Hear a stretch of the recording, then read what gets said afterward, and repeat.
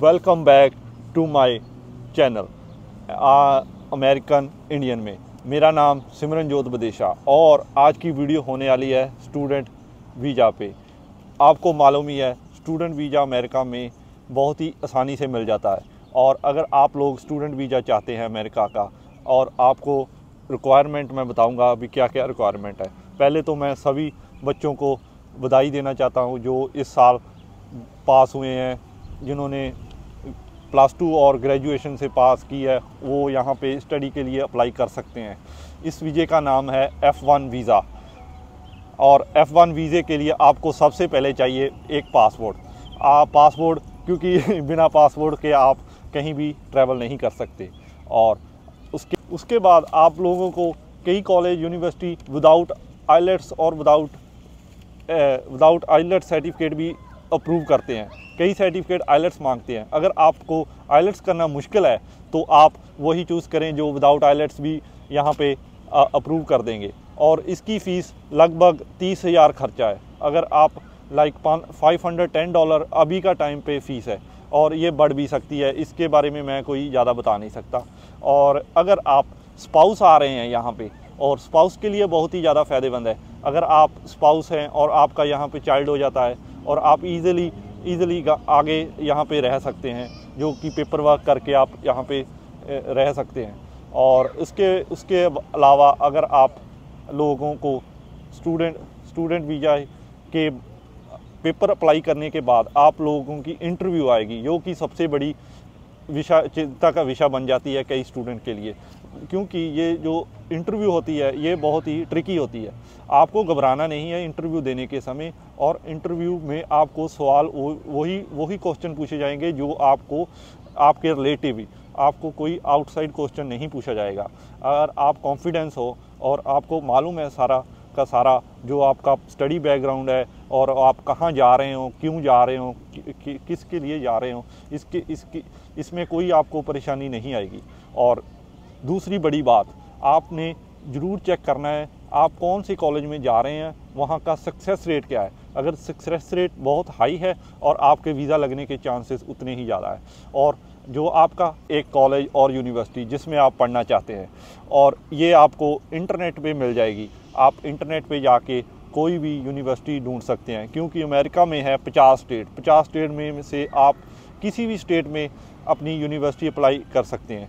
आपको university apply करने के लिए आपको ऑफ़र लेटर भेजना पड़ेगा, जिसको जिसको कि आप इजीली आप अप्लाई कर सकते हैं। उसकी फ़ीस है, उसकी किसी की फ़ीस किसी की fees more than hundred dollar है और किसी की हंड्रेड डॉलर है। आप वो ईज़िली अप्लाई कर सकते हैं। जैसे कि न्यूयॉर्क कैले कैलिफ़ोर्निया शिकागो और न्यू जर्सी किसी भी जगह पे आप एडमिशन ले सकते हैं। क्योंकि अगर आप कॉलेज कॉलेज में एडमिशन अप्लाई करेंगे, ये दो तीन हफ्तों में आपको आपका लेटर भेज देंगे। उसके बाद आपको लेटर लेने के बाद आपको चाहिए ऑनलाइन फॉर्म भरना पड़ेगा, जो कि ईज़िली आप अमेरिका की वेबसाइट पर जाकर पा सकते हैं।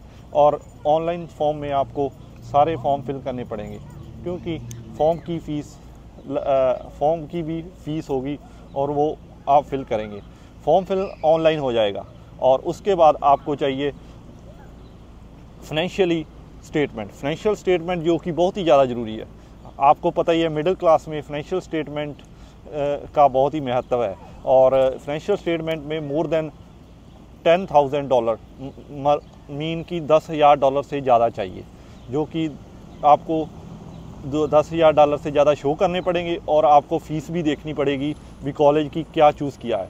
अगर आप कॉलेज अपने हिसाब से देख कर चॉइस करेंगे क्योंकि ये फ़ीस मैटर करती है आपकी एजुकेशन पे क्योंकि कोई एजुकेशन बहुत ही एक्सपेंसिव है कोई एजुकेशन चीप है। अगर आप लोग आ, बड़ी यूनिवर्सिटी में अप्लाई करोगे उसकी एजु, एजुकेशन फ़ीस ज़्यादा ही होगी और आपको ट्यूशन फ़ीस जो है वो तो पे करनी पड़ेगी।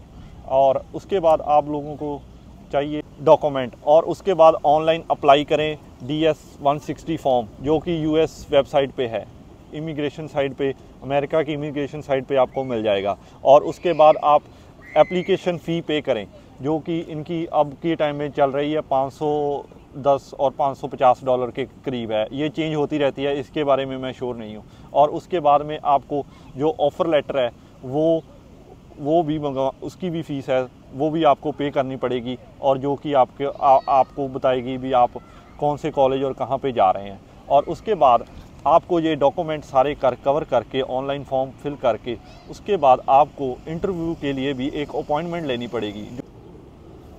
आप अमेरिका में आकर अपना स्टडी का सपना सफल कर सकते हैं और आप लोगों को यहाँ पे अपॉर्चुनिटी भी ज़्यादा मिल जाएगी। क्योंकि अगर आप हायर ग्रेजुएशन यहाँ से करेंगे तो आपके लिए बहुत ही ज़्यादा अपॉर्चुनिटी मिल, बढ़ जाएँगी आगे। उम्मीद है आप लोगों को ये वीडियो पसंद आई होगी। अगर आप लोग ऐसी वीडियो और देखना चाहते हैं, मेरा चैनल लाइक, शेयर, सब्सक्राइब। मैं मिलता हूँ आपको किसी नई वीडियो से, किसी नई जगह से। Till and bye